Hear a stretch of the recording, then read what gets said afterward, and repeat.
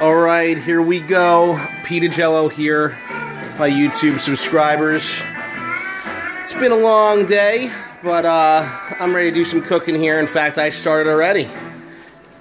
And uh, oh, we got little Jim Morrison here in the background. Okay, Jim. There are a lot of strange things, especially this dish I got brewing. What could it be? What could it be? Chicken? Fish? Tofu? Steak? Let's check it out.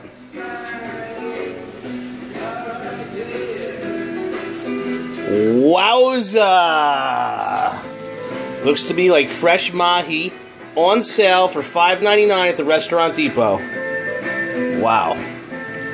I got some lemon juice in here. Ow. It's hot. I got some lemon juice in here. I have some basil. I have some crushed black pepper. And uh, this is going to be a dandy. I also got some eggplants today. $4.65 for a bundle.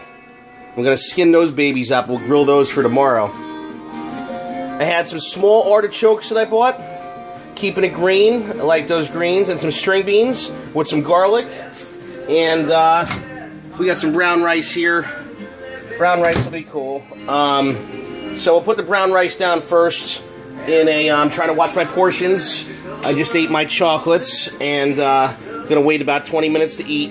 Gonna put maybe some brown rice here, string beans on top, then a piece of the fresh mahi mahi. That's what I'm talking about. This is Peter Ajello coming to you live. Ooh.